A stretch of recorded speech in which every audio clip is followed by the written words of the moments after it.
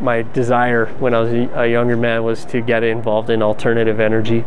Uh, I hadn't really seen anything about uh, thorium or molten salt reactors at all. And that TED talk was the one where Kirk was in town talking about LFTRs.